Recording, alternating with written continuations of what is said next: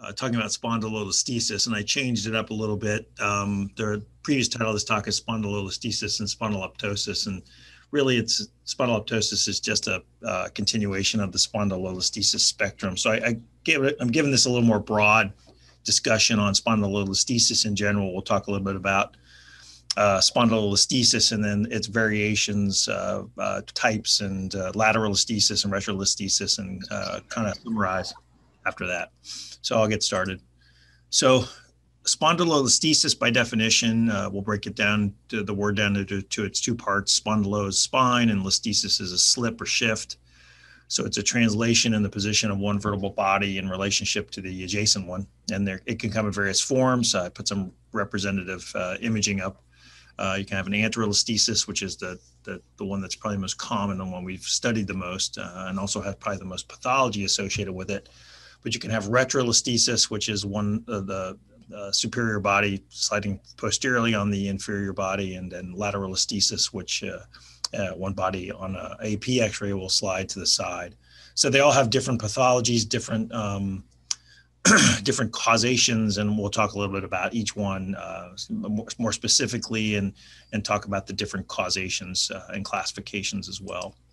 Uh, so let's start with the, the, the subtype of anterolisthesis. Uh, it's the anterior shift of the cephalad vertebra in relationship to the caudal vertebra. And I'm going to I'm going to call this a non-compensatory sagittal deformity because we're going to talk a little bit about compensatory deformities a little bit with the retrolisthesis and the uh, lateral listhesis uh, variations. But this is essentially a true deformity where, where the, the, the vertebrae are shifting to, due to pathologic processes, which are going to be variable based on causation. Uh, they tend this particular problem tends to cause segmental kyphosis where it occurs. In addition to the displacement of the vertebra itself, it's it's the most common, uh, probably because it's the most pathologic, uh, and it's also the most studied. So we'll talk about how we how we classify anterolisthesis um, and what causes it. So causations are one classifications uh, uh, system. Uh, Wiltse uh, described anterolisthesis as being caused by different types of causations in the spine. Uh, type 1 is a dysplastic, so there's a, an abnormality within the uh, upper sacrum or the arch of L5. This is specifically looking at L5S1 spondylolisthesis.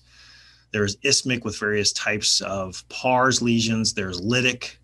There is uh, elongated but intact. That's also a form of dysplasia of the pars. And then you can have acute traumatic fractures of the pars from injury. Uh, degenerative spondylolisthesis, uh, if you wanted to, we could break this talk into two separate talks because I think degenerative spondylolisthesis is a different issue than an isthmic spondylolisthesis. And we're going to talk a little about the two subtypes uh, within the, the anterolisthesis. But degenerative results from uh, longstanding intersegmental disease, allowing for one vertebra to shift on, on top of the other. You can have traumatic uh, secondary to fractures in regions other than the pars, as is an a pedicle fracture, can cause a spondylolisthesis or other traumatic injury and then pathologic related to um, uh, localized bone disease or some form of malignancy within the bone that can create a, a uh, spondylolisthesis. And then there's not one listed here, which is a type six, which we have seen before, which is iatrogenic, uh, often seen after decompression of surgeries, where you'll get a pars defect that occurs after a decompression, and that's got a separate type. So these are the types uh, based on causation of the spondylolisthesis you're going to see Another way to uh, classify spondylolisthesis is by the degree of the slip that occurs. Um, so basically, Meyerding's uh, uh, methodology is to divide the inferior body into four zones 25% uh, of the total length of the uh, inferior body. Uh, and then basically, you have grade one slip is between 0 to 25%, grade two slip is 25 to 50% of the body a grade three slip is uh, 50 to 75%. Grade four is 75 to 100% of the body. And then uh, finally, uh, is a complete slip of the vertebra cephalad uh, uh, in front of the vertebra uh, inferiorly.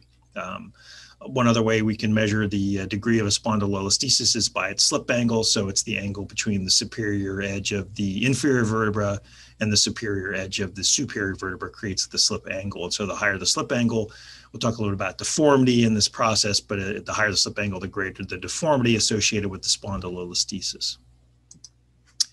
So, what's the incidence? How often do we see this condition? Well, again, we have to break it down into different categories. I'm going to, the isthmic is probably the best studied in terms of its uh, presentation within the adult population. So, it's found in about 6% of adolescents and adults. Uh, these are often asymptomatic. In other words, if you take 100 people over age uh, 20 or age 18 and, and get an x ray, 6% of them will have a spondylolisthesis that is isthmic type where there's a, a problem with the pars interarticularis or some other uh, dysplastic issue with the, the vertebra at that level.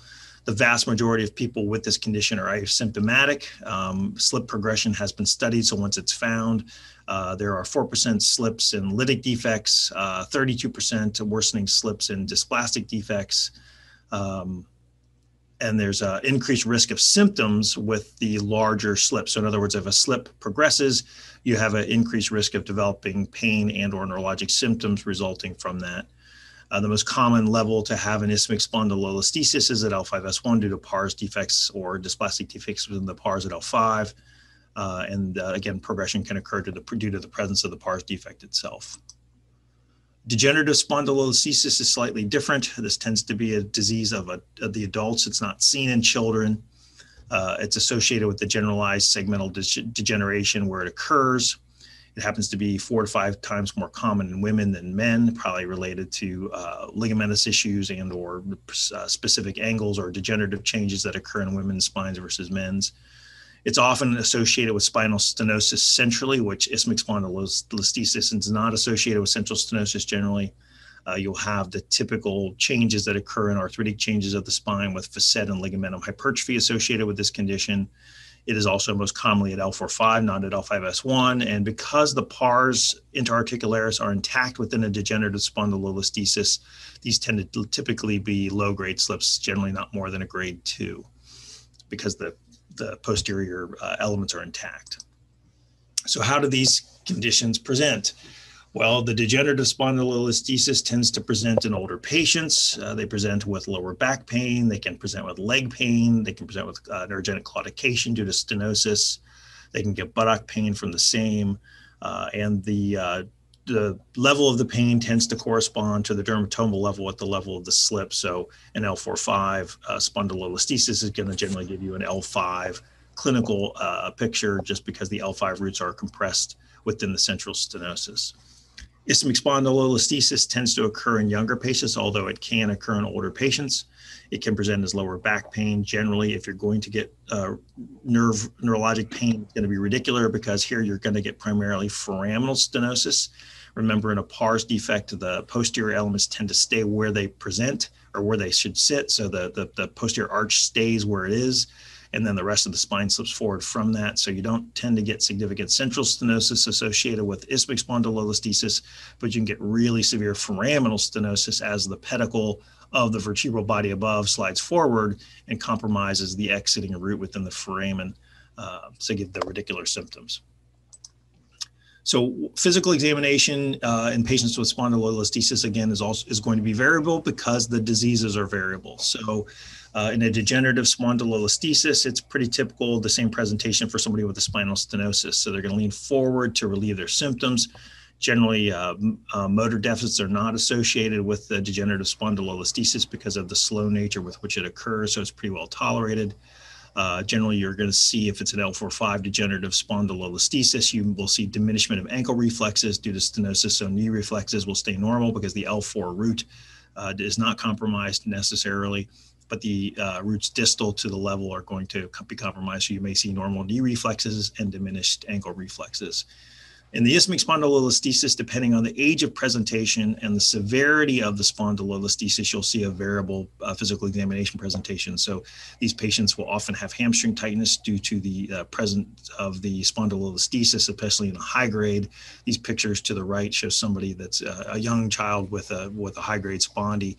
So you can see the change in the contour of the lower back. You can see the bent knee position and the compensation within the pelvis to accommodate the the fact that when she tries to stand up, she stretches her nerves and there's probably compression and you can see the severity of the spondylolisthesis and the high slip angle associated with this particular spondylolisthesis patient. Um, interestingly, when you palpate the step off of the spinous processes in somebody with an isthmic spondylolisthesis at L5S1, the step off actually occurs at L4-5 because the L5 lamina stays in position as the L5 body slips forward. That is the same palpable step off you'll feel in somebody with a degenerative spondylolisthesis at L4-5. You can actually have motor deficits associated with a high grade spondylolisthesis that's isthmic due to the presence of the um, foraminal compromise on the roots. And that, of course, can be worse with a higher grade slip. So we'll talk a little bit about uh, retrolisthesis as well. So this is a different positioning. This is where the cephalad body uh, uh, subluxes posteriorly. So I, I took, put some representative pictures in here. Uh, there's a patient that uh, has a L2-3 retrolisthesis. Um, and we'll talk a little bit about some of the generalized findings. There's a, a, couple of pictures. The A and B pictures are somebody with a L4-5 retrolisthesis. So some studies I looked at when I look, put together this talk. You know, what? How do you get this? Why do you? Why do people have um, retrolisthesis development in the aging spine? What are the associated factors? There's a study out of the Chinese literature uh, and the Korean literature, and uh, basically, uh, what, happens is I think retrolisthesis, based on my review of these studies and the, the, the, the summaries of these studies, are that uh, it appears to be a compensatory degenerative mechanism of the vertebral interspace to maintain sagittal alignment. So as we become more degenerative as we age, in order to help compensate our sagittal alignment, the one of the bodies will slide posteriorly to compensate and create better alignment sagittally uh, with this retrolisthesis development. Uh, we do the the studies that I've pointed out here to the left. Um, the retrolisthesis is associated with lower pelvic incidence, lower pelvic tilt, lower, lower overall lumbar lordosis, lower sacral slope, and lower SVA. So you're compensating for your uh, postural position. It's also associated with higher uh, thoracic kyphosis. So the, the representative uh, long lateral film on the right uh, the B picture will show that uh, kind of that classic picture of what happens when you the retrolisthesis. So you're trying to compensate for the change in your posture by pushing posteriorly uh, through your degenerative segments. So uh, so retrolisthesis is a compensatory uh, mechanism for maintaining sagittal alignment in a degenerative spine. It doesn't mean it's not associated with pathology, but it's a different pathology than an anterolisthesis. Uh, we also know that there's lateral listhesis. So we'll see uh, uh, shifting of the spine in the coronal plane, where one vertebra will shift to the side of the other one. Um, and so uh, looked at some studies uh, looking at lateral listhesis specifically in terms of predicting, you know, if it's present, is it associated with worsening disease and worsening pain and worsening progression of an underlying degenerative condition. Um, so the summary of the findings of the studies on the left uh, are that lateral listhesis is most commonly seen in patients with associated degenerative scoliotic curvature. It is most likely a compensatory mechanism to maintain coronal alignment, much like the retrolisthesis is a compensatory mechanism to maintain sagittal alignment. This is likely a compensatory mechanism to maintain coronal alignment during curve progression due to aging.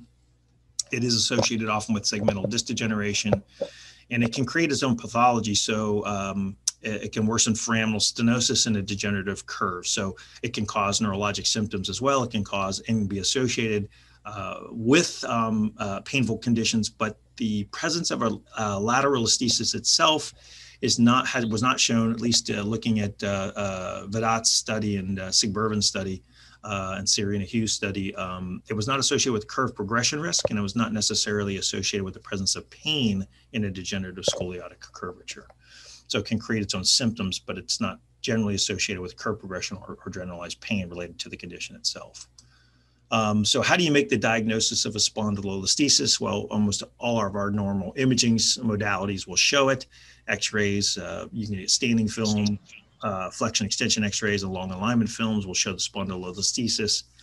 Uh, MRIs are used to evaluate other uh, pathologies associated with the spondylolisthesis, uh, such as stenosis. Uh, CT scans are probably the gold standard still for evaluating uh, bony deficits, such as an isthmic spondylolisthesis, to look for a pars defect. And then bone scans and SPECT CTs, which we've talked about previously, we're using more often now to evaluate for stress reactions in the pars and or facets that may be contributory to the disease process associated with these uh, uh. Uh, we'll talk a little bit about instability. I, I, this is the ESLAC slide, I, will call it. Um, you know, the flexion, flexion extension x-rays were typically thought to be the gold standard and the utilized for uh, uh, determining whether or not a spondylolisthesis was indeed uh, unstable and then one of the other things we can look at is our, effusions within the facets in a patient with spondylolisthesis felt to be uh, uh, associated with a higher risk of uh, instability. Um, uh, the, the, basically, the, the studies on the uh, left that I included here, the Kashgar study is the one that I, I think we started to talk about more extensively in terms of is there really any additional value to getting flexion extension x-rays when you compare the supine MRI to the standing neutral uh, X-ray. So the summary of these studies is uh, the value of flexion extension X-rays to evaluate segmental instability is variable. So uh, if you look at the second study there, this Asian study looked at the influence of posture when you actually, what position do you get your flexion extension x-rays in? So there's a large difference in the degree of slip noted between sitting, standing, and lateral decubitus positioning during x-ray and instability is best seen in lateral decubitus positioning for the x-ray with a flexion and extension. Um, and there's no relationship they found between the degree of instability that they saw in flexion extension x-rays and the presence of facet effusions on MRI. So, so they didn't find a correlation. Now, it doesn't mean that facet effusions are indicative of instability, but they cannot correlate the degree of instability with the presence of the effusions. In the Kazakar study, they found a 90% correlation between finding three millimeters of slip differential comparing the supine MRI to the standing neutral X-ray, but getting flexion extension X-rays only created a 16% additional uh, confirmation of instability. So their feeling was that if you confirmed the difference uh, between a supine MRI and a standing neutral X-ray and showed a greater than three millimeter slip difference, this corresponded to symptom presence and uh, correlated with treatment recommendations for stabilization. Uh, so I think uh, this is the study we're using now for uh, to, essentially stop getting flexion extension x-rays the combination of what we're seeing with the variability in flexion extension x-ray positioning and potentially not the, the need because it doesn't really help us clinically. So treat will go now to treatments for spondylolisthesis. Uh, obviously, there's you can treat this condition non-operatively. You treat it like any other back pain or neurologic symptomatology condition of the spine physical therapy to work on core strengthening and flexibility. You can do injections uh, and uh, uh, epidurals work for spinal stenosis. They may help with some of the symptoms associated with spondylolisthesis. And if you're concerned that a pain generator is indeed something wrong with the pars and somebody that has a pars defect, uh, the pars injections can help with diagnosis. Um, but if we're going to talk about treatment, we're going to talk about what you know the surgical treatment associated with these conditions. You know, we're going to have to go back to our principles. So when somebody comes in with a symptomatic spondylolisthesis, regardless of type, we have to go to where we have to go with anything we have to treat. Uh, the principles of neurologic decompression when there are neurologic symptoms, stabilization of segmental instability if we define there is instability. You want to create a durable outcome so that when you do treat a patient, they stay well and then we're going to have to take into account that uh, these uh, uh, conditions both are creative of deformity, um, they are responses in creating deformity. And if we're going to uh, treat them, we want to basically make sure that we take our, our, our, our, treatment options and, and try and minimize the amount of deformity we either uh, preserve at a segment or create at a segment. So we go, we're looking for deformity to correction in our treatments. So, what are our surgical options? Well, if somebody comes in with a um, symptomatic spondylolisthesis with neurologic symptoms. We, there have been studies that have been done that look at decompression without doing a stabilization of the instability or the, the deformity. So the, the studies that, that were done for isthmic spondylolisthesis, uh, Gill did it a long time ago. A Gill laminectomy is a complete removal of the lamina and the pars at the level that's affected. Uh, they showed uh, good results in the 1955 study that was done for the Gill laminectomy for symptomatic isthmic spondylolisthesis at L5S1. However, this was not borne out in subsequent studies with a high degree of slip progression rate, which you'd expect when you remove the entire lamina and the pars at the level that you're treating. You're putting a ton more stress on the disc. So, of course, you see increased disc degeneration. So, I think decompression alone for an isthmic spondylolisthesis has largely fallen out of favor because of poor outcomes. When you talk about degenerative spondylolisthesis, there have been multiple uh, recent studies looking at um, um, uh, comparing decompression versus fusion and then fusion with and without instrumentation. Uh, and I think the uh, the the consensus here is uh, there's better, more durable outcomes with uh, concomitant fusion plus decompression over decompression alone with degenerative spondylolisthesis. So I, I, kept this article in from the New England Journal of Medicine from 2016 that they did laminectomy plus fusion versus laminectomy alone for lumbar spondylolisthesis. I found this interesting because it was in the New England Journal of Medicine and not spine or uh, Journal of Bone and Joint Surgery or neurologic uh, or the neurology uh, literature. So, but uh, they compared decompression alone versus the fusion group. They looked at SF36 and ODIs, and there's a significant improvement in the uh, patient's uh, baseline from the patient's baseline to uh, uh, when you compare the fusion improvements to the decompression alone uh, over time. So this was a the fusions provided better initial um, um, results uh, from a SF36 and ODI standpoint, and then it was more durable over time. So you can see the numbers here.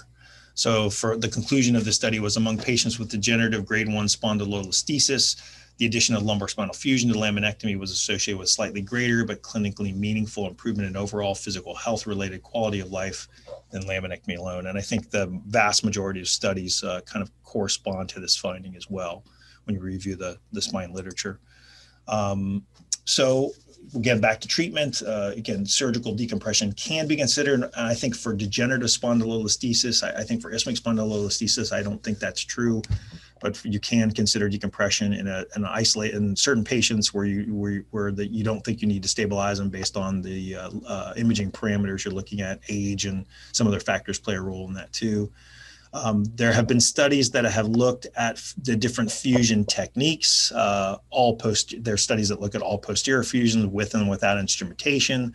There have been studies done that look at all anterior instrumentation for spondylolisthesis of varying types, circumferential fusion with various interbody techniques, uh, and then studies that have been done for spondylolisthesis with and without decompression and with and without reduction. And again, I think your technique for what you choose to do has to be based on your surgical goals or what you're trying to, to, to accomplish when you're treating a patient with a spondylolisthesis. So each patient has to be evaluated. Uh, their imaging has to be looked at, their symptoms have to be looked at, their underlying condition has to be looked at, and then you've got to pick a technique uh, that uh, will meet your surgical goals. Uh, I will say that based on my review of the literature, the trends um, there's no statistical difference in outcomes with or without decompression. So a fusion with or without decompression can be considered. So you have to use your surgical judgment on whether you think a patient needs to be uh, directly decompressed uh, versus just stabilized at the level you're treating. Uh, instrumentation does increase fusion rates. So that's been shown over multiple different pathologies. So if you're going to fuse the spine, if you instrument it, you're going to get a higher fusion rate, which should improve your clinical outcome. Um, we know that circumferential fusions improve clinical outcomes because they, inf- uh, they improve fusion rates as well. Um, reduction of a spondylolisthesis has a higher risk of developing or, or, creating an iatrogenic neurologic injury. And this is more important if you're going to be treating a higher grade slip or a much larger deformity associated with a spondylolisthesis. and then uh, studies also show that improving focal kyphosis and general lumbar lordosis, again, back to the improving the deformity, uh, when you're treating a, uh, spondylolisthesis uh, leads to better uh, health related quality outcome study or outcome uh, uh, results. A little bit of a discussion. You could give a whole talk on spondylolisthesis and deformity. But again, my, my caveat here will be that if you're going to treat a spondylolisthesis, you should consider focal and global sagittal alignment in your treatment planning. Um, both isthmic and degenerative spondylolisthesis have a negative impact on lumbar lordosis. If you think about it, they are segmentally kyphotic for the most part. Generally, the degenerative changes that occur, especially in the adult population, even with an isthmic spondylolisthesis, the, the, the both conditions generally tend to create uh, basically kyphosis at the segment they occur. Uh, and then uh, there's compensatory mechanisms that occur that can create hyperlordosis in the lumbar spine to compensate. And eventually, your pelvis has to compensate if you can no longer lordose your spine enough to compensate for the deformity. So um, if you fail to consider the the focal and the global sagittal issues associated with your treatment, you may be forcing the patient into a worse situation long term, and ultimately they will need a larger corrective surgery later because of the treatment you've provided. So again, you've got to consider the, the both the local and the global deformity in your treatment plan. Um, so conclusions of kind of my review and uh, looking at my own patient treatments and uh, um, experience is spondylolisthesis when symptomatic requires thoughtful evaluation of treatment consideration for each patient. It is more than just instability. There are neurologic symptoms that can occur. You could have stenosis both centrally and foraminally that can need to be treated in your treatment plan. You can have deformity that's both segmental and global. Uh, and in my adult populations that I see, uh, isthmic disease is often associated with degenerative changes, which are driving the patient's symptoms. It's not just the deformity, and it's not just the instability pattern, it is the fact that these patients now have an arthritic change associated with the underlying condition that's driving their disease and their symptoms associated with their disease. So, uh, one other conclusion based on the literature is circumferential fusion tends towards better clinical and functional outcomes because you're increasing your fusion rate. Um, the ALIF and lateral surgery allow for indirect decompression because you're, you're, able to more powerfully restore disc space heights. You're probably also able to get better segmental alignment using these techniques, uh, which can help with both local and global deformity correction. Um, one of the things I will comment on is I think lateral surgery is safe and effective for spondylolisthesis treatment above L5. Uh, I think it's especially powerful for patients that have developed scoliotic curvatures with associated lateral listhesis that creates foraminal disease as symptomatic. It is probably uh, uh, the best treatment, in my opinion, for symptomatic foraminal disease associated with a scoliotic deformity in the older patient because of the power of the indirect decompression and the ability to correct the uh, lateral listhesis and the uh, focal deformity at that level using a lateral surgery. Uh, and finally, consider focal and global sagittal alignment in your treatment planning, even with low grade slips. So while it may not seem like a big deal that you've got a grade one degenerative spondylolisthesis, you still need to uh, take into consideration uh, the overall uh, patient's alignment picture when you're making your treatment plan so that you don't lock them into a kyphotic or a neutral position that's ultimately going to give them problems down the road. So that's what I've got for today. So uh, that was my half hour. I think I did pretty good. Awesome. Thanks, bro. Yep. You know, I remember reading it when it came out, but it's been a while. The parameters for that Benzel New England Journal study was it grade one that that moved on F&E or, or do, do you remember or does anybody remember? I don't remember. Um, yeah. I think it was. Yeah. Some evidence of instability in addition to the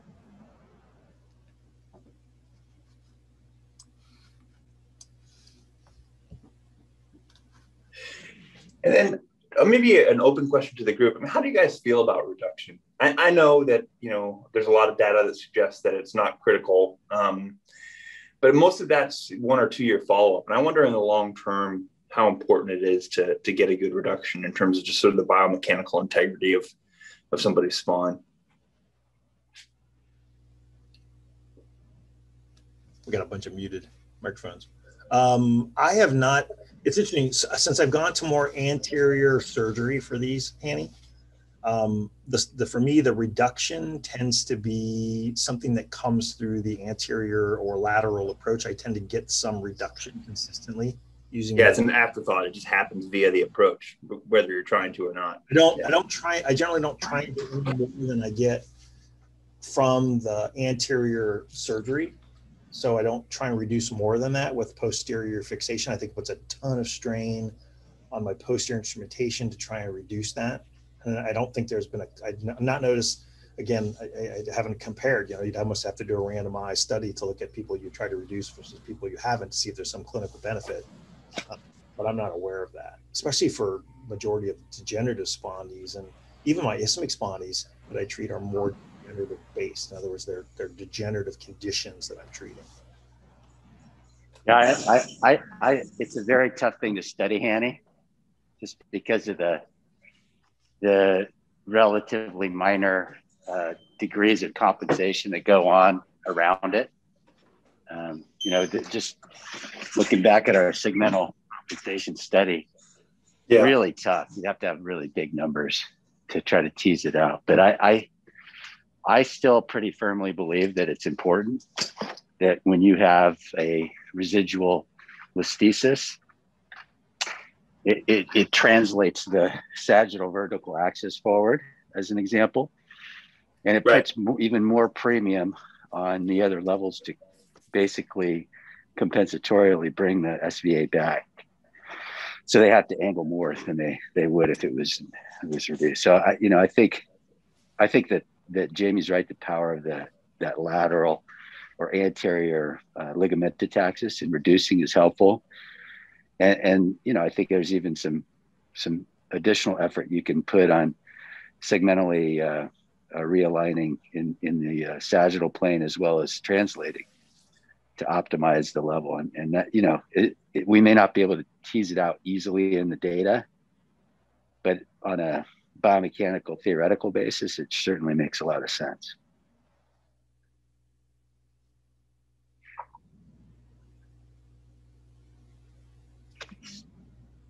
Well, thanks, guys. Thanks for yeah. thanks for giving the talk, Jim. No problem.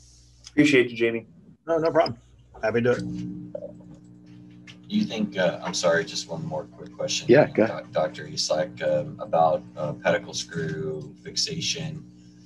Um, you know, just going towards larger screws if you're to, or, or trying to trend towards larger screws if you're to try to put that posterior directed force on the on the pedicles for reduction. I mean, I, I don't know. What are your thoughts about that versus, you know, I guess cement augmentation? I, I don't know. I just, I, I do, I like Dr. Bruffey, I do worry about it. And I've seen the, the screws start to pull out. Um, I've seen that a couple times too with an attempted reduction maneuver and then sort of back off like, okay, that that's not going to work. In, so we'll leave it where we are. So in, in what context? In a deformity or in a no, no, no, like a grade one slip, and you yeah. kind of reduce it, you know, uh, fifty uh, percent or, or, or more, and then you kind of want to go for gold, and then you see yeah. that that little movement of the screw or the little subtle pull out or it doesn't feel right or whatever. So trying to yeah, I I, I think that's really that. that's probably not worth it if you're causing that kind of failure, but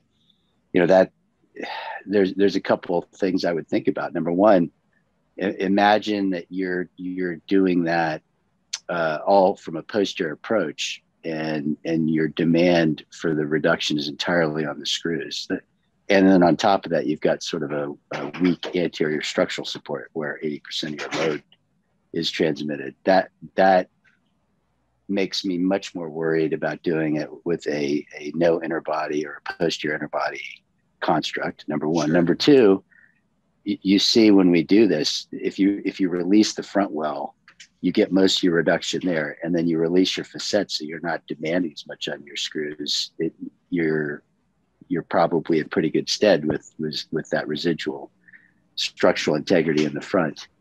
And then finally, you, you have to use your judgment. If you if you're working with an osteoporotic patient and your screws don't fill that that good going in, you're going to be really leery about demanding much on them. And then you may even cement augment on top of that and then not demand on them. But, you know, th- those are the nuances and the art of what we do. You have to, you have to decide if, if a little reduction is really worth it. If you're already somewhat concerned about the structural integrity or the, uh, the uh, integrity of the screw bone interface.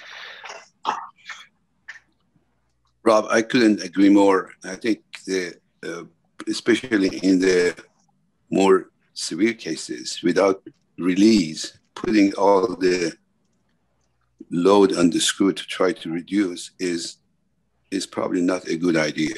And, uh, and I think you know you do the reduction, you do the release, and then use the screws for fixation, and not really use as a means of reduction in general. I think the smaller deformities or uh, you know slip is is is probably okay, but it, you know Bobby is exactly right. You know, not having that anterior release or disc release or whatever is needed uh, and putting all the screws in all the pressure on the screws is not uh, a good idea. Yeah, especially if it's an L5S1, Rob, and the S1 fixation is not great, and you're trying to you know pull five back off of fixation at that segment. Yeah, you could. For me, you could really break down you know the treatment options uh, by subtype. So I mean, I I think the principles stay the same, but you know, there's some nuances to treating isthmic spondylolisthesis at L5S1 versus treating a degenerative spondylolisthesis at L45. Uh, just they're just they're different animals in a way. So um, yeah, you have to really do. Sometimes you have to think your rethink your treatment plan. Thanks, Jamie. This is Com. I have a question for you regarding the lateral listhesis. What um, uh, I've seen quoted uh, like uh, seven millimeters as uh, as a pathologic number um, as to the amount of lateral listhesis that's clinically significant. But uh, but I've seen also a lot of people really start decompensating it earlier earlier amounts of slip because it's associated with a lot more rotation, a lot more issues. Uh, what's your sense of uh, of, of, how to, uh, uh, what amount of lateral listhesis is something that is concerning and should it be treated a little sooner before the scoliosis worsens, for example? Well, I'll tell you, so my review of that, so I used to think, you know, the, that it was a pathologic process in and of itself. And then I looked at the, the study that uh, Sig and Vedad had done and Serena Hu had done up in uh, uh, San Francisco and they didn't see uh, association of pain or curve progression associated with the presence of that and I don't think they had enough patients in that study to really break down, you know, the degree of how much it is. I, I didn't see that like there was a number. I, I couldn't find a study that gave me a number, like a certain number of lateral listhesis. But it's I do agree with you. It's a compensatory mechanism for the for a patient to try and improve their own coronal alignment.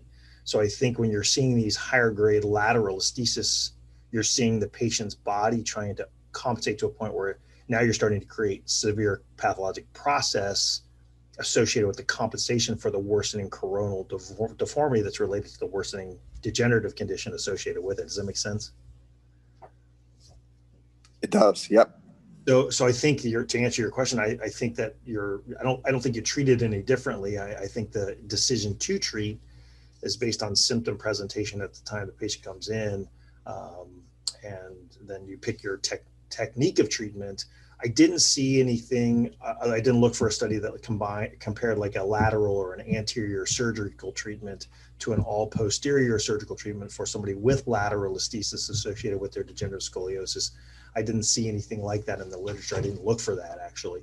Uh, I guess that would be one consideration is if you've got really bad coronal deformity now, are you better off treating it through a combined anterior and posterior approach, or can you still do it all posterior? I don't know the answer to that one. Yeah. Thanks. Yep.